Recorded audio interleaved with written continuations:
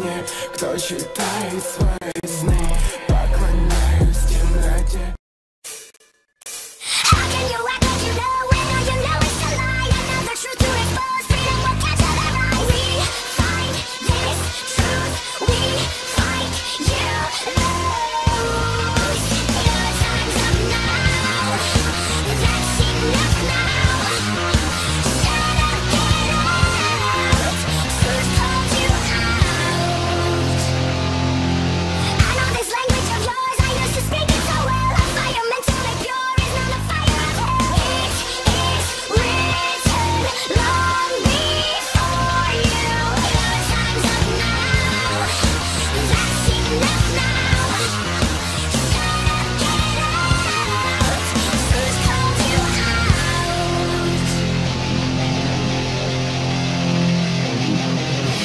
hear your claims, and I know you're.